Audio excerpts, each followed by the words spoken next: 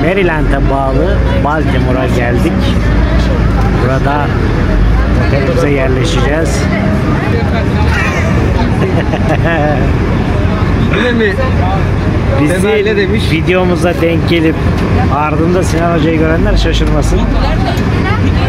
Her başarılı YouTuber'ın arkasında bir İngilizceci mutlaka olmalı.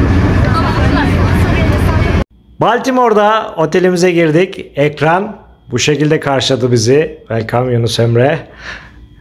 Erol Hocam seni yazmamışlar. Maalesef.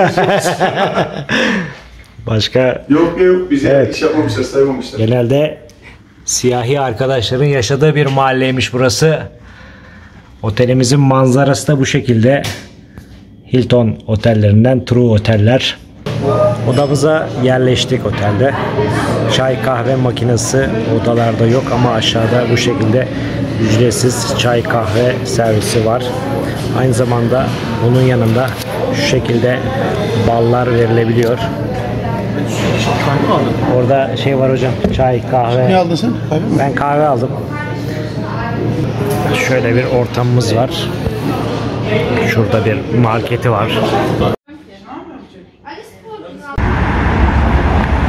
Baltimore'da akşam yürüyüşüne çıktık. Sinan Bey ilk izlenimizi alalım efendim. Valla ilk başta çok güvenli bir şehir gibi gelmedi ama buralar güzel. İtalyan restoranları var. Şehir merkezinde kalıyor olmamız böyle akşam saatlerinde yürüyüş yapmamıza da fırsat verdi. Efendim kahvemizi aldık. Balla tatlandırdık. Bize afiyet olsun. Bakın şu manzaraya. Arkamdaki manzaraya. Böyle bir manzara yok. İşte bulut. Gerçi her yerde var da öyle oluyor ya yurt dışına çıkınca. Abi kahvesi bile başkayız. Burası oteller bölgesi mi acaba? Valla bildiğiniz kahve yani. Bak şurada da şey var. Marriott.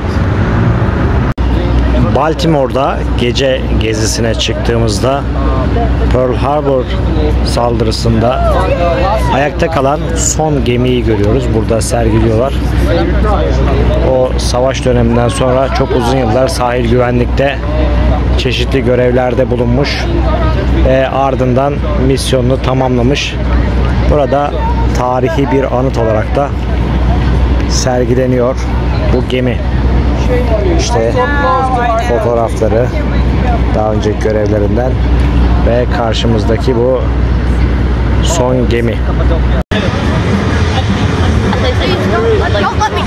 Baltimore geceleri böyle kanalın etrafında kafeler Hard Rock hemen burada gitar sembolünü bacalara koymuşlar. Baltimore'da gençler ekran bağımlılığından uzakta birbirlerine kum torbalarını atıp delikten geçirmeye çalışıyorlar. Bu oyunun adı ne? Sor bakalım. Sinan Bey oyunun adını sormaya gitti şimdi. Baltimore gecelerinde böyle oynanan bir oyun var. Bu torbaları buradaki delik Aa, bravo. Bravo. Olmadı. Olmadı. Geliyor. Haydi bravo. Çok güzel bir oyunmuş. Adını bilmiyoruz.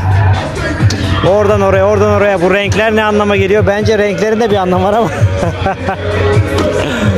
evet, güzel bir oyun. Evet, oyunun adını da öğrendik. Cornhole'muş. Mısır deliği gibi bir çevirisi var. Amerikan Cornhole. İşte böyle mekanların önüne dizip insanlar oynuyorlar. Sinan Bey çekil. Kafana gelmesin. Hoppa. Olmadı. Aa, bravo. Çeviriyor. Gönder gelsin. Süpersin. Gönder. Eski kasnakçılardan kim kaldı?